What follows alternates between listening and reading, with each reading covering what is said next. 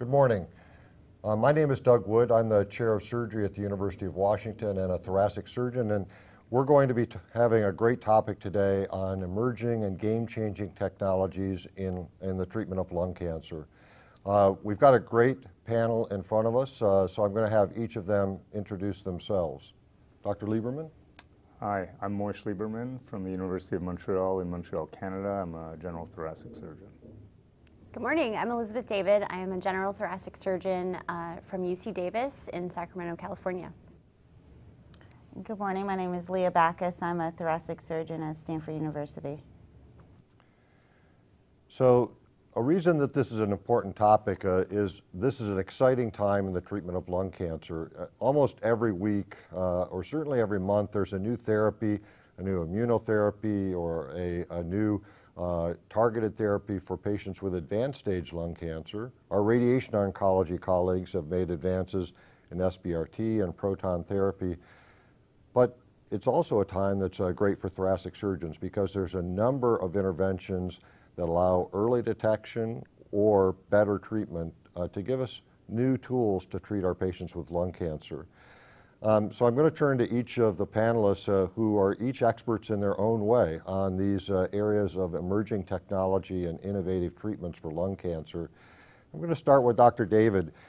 You know, Dr. David, from your perspective, what's the biggest recent advance in, in lung cancer? What, what's the biggest ticket item in terms of our care for patients with lung cancer? Sure. Well, I actually think that um, probably in the last five years, the biggest advance has um, been the introduction of the low dose CT screening for lung cancer.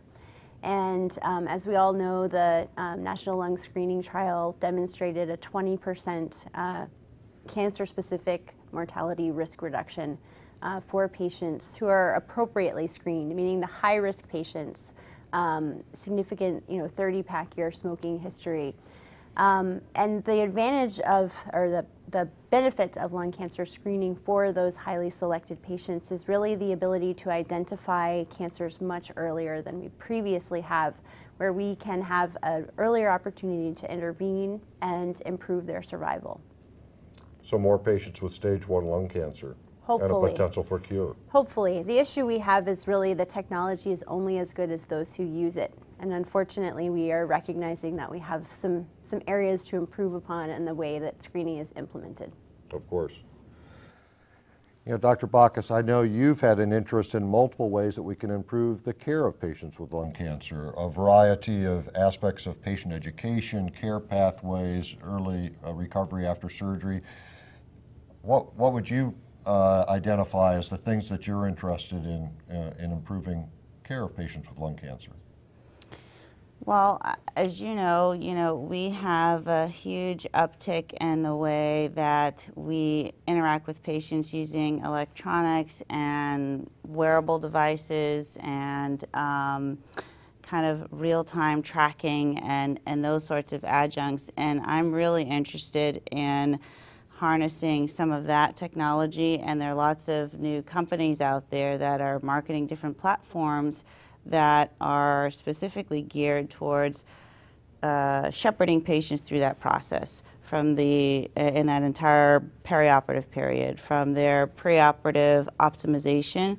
Um, there, there are platforms um, that are mobile-based apps that also follow the patients while they're in hospital um, kind of keeping them on their own sort of self-reported metrics and then that will follow them in their in their recovery once they're out of the hospital with monitoring of wounds, with facilitating um, uh, communications and milestones in the recovery that will ideally minimize some of the back and forth and take away some of the uh, unknowns for patients to make them feel more empowered uh, and really feel that they're taking charge of their own care.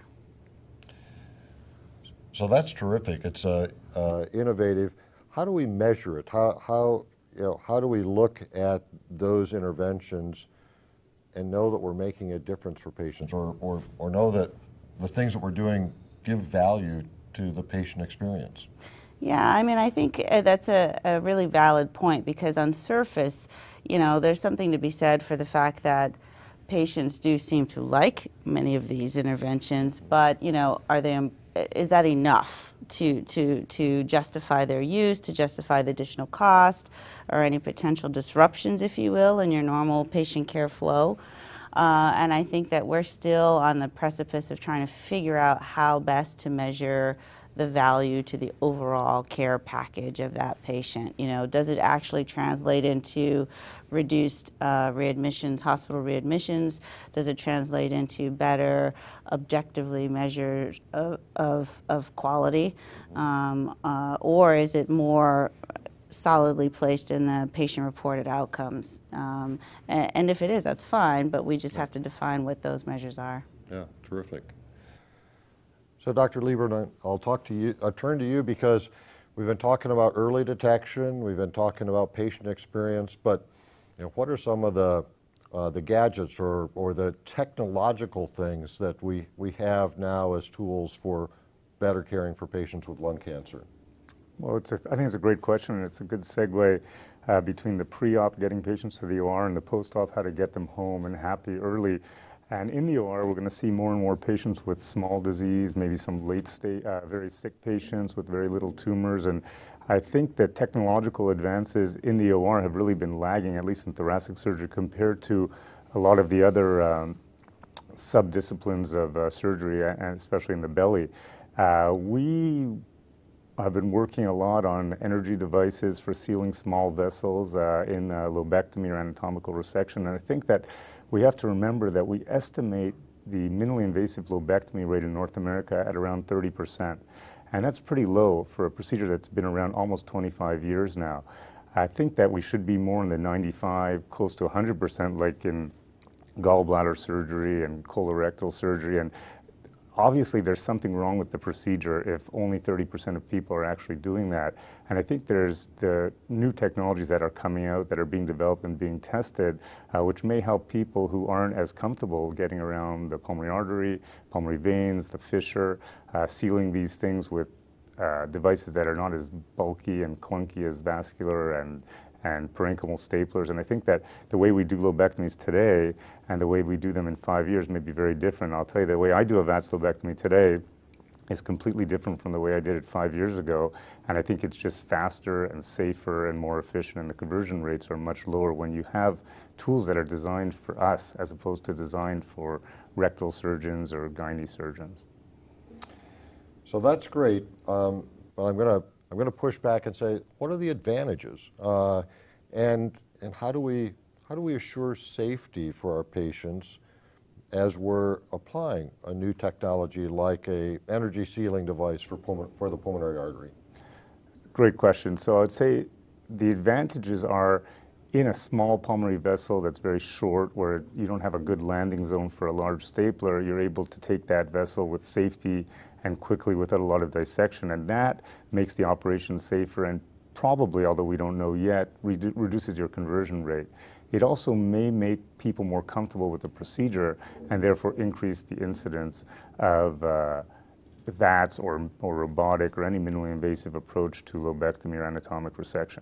How do we prove that safe? That's a very good question. I think that uh, technology in surgery has been often introduced without good trials looking at safety.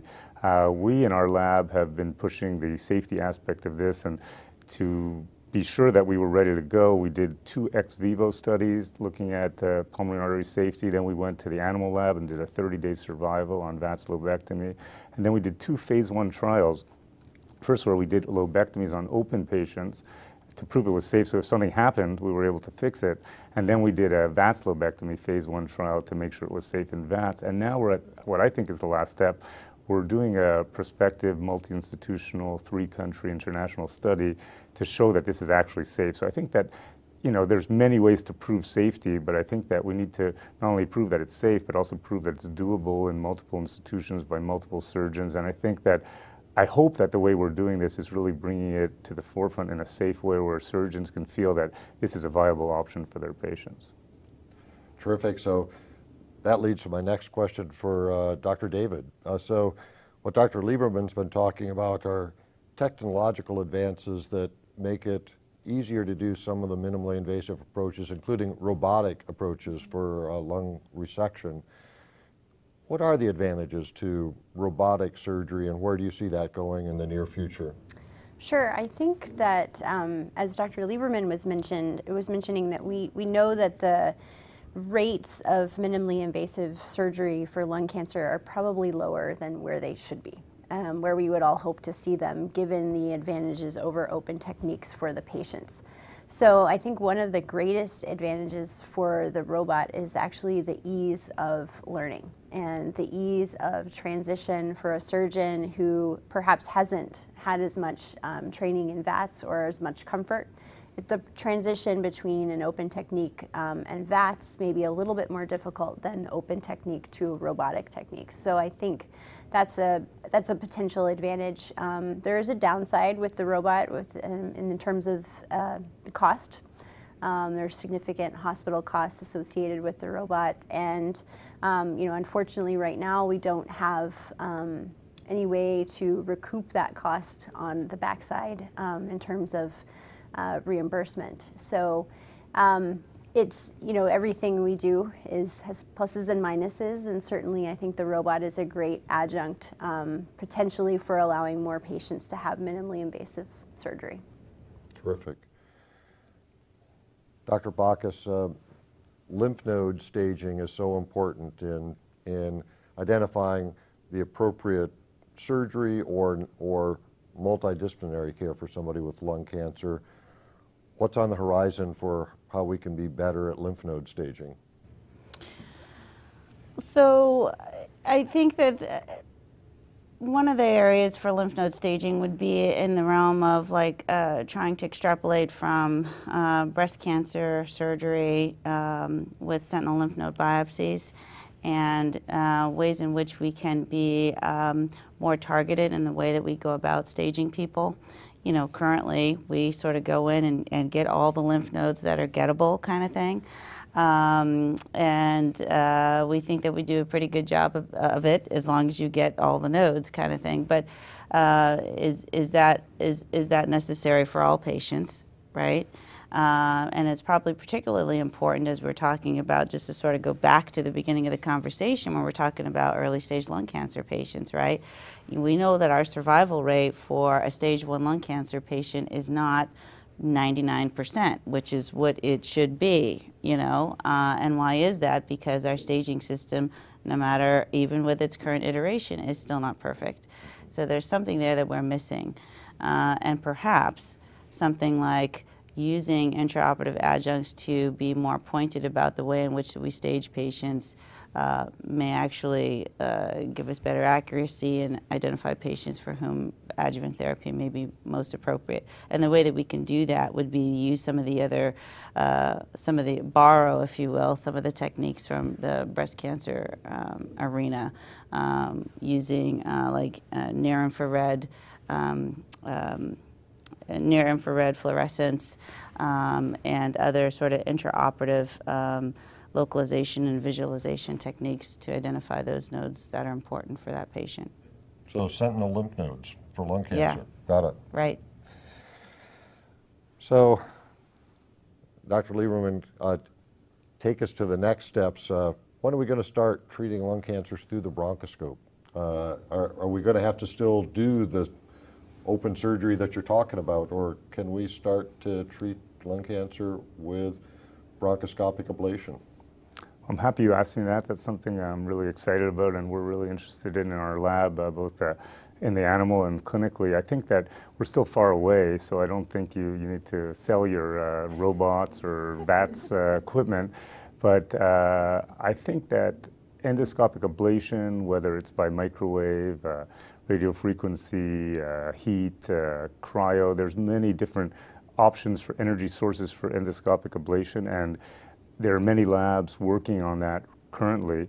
I think that it will eventually shake out to be part of the armamentarium, sort of surgery, SBRT, endoscopic ablation.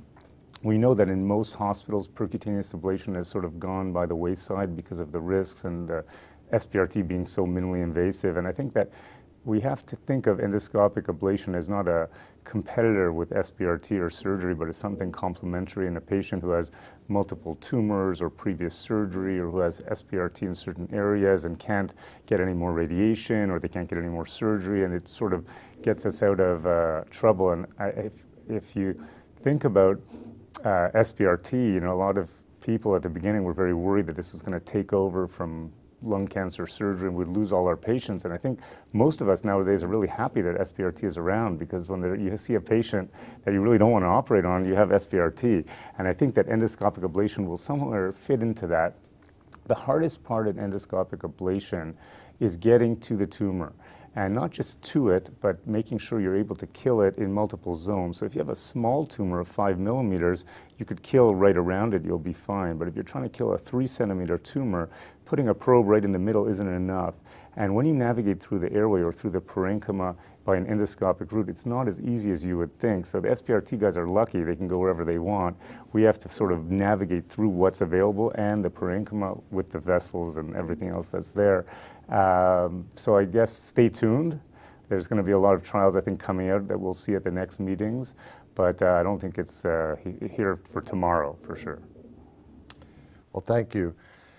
Well, as you can see, this is an exciting time for the treatment of patients with lung cancer. We have early detection uh, that Dr. David talked about, giving us an opportunity to treat more stage one lung cancers, improvements in staging, uh, and improvements in the patient experience uh, that uh, Dr. Backhus gave us information about, and some te technological advances in sort of how we can care for patients better uh, that Dr. Liberman, Liberman, described. So I want to thank each of the panelists, uh, Dr. David, Dr. Backhus, and Dr. Liberman, uh, for being with us uh, today. And uh, it's a great time to be a thoracic surgeon and, and doing our best to create lung cancer survivors. Thank you.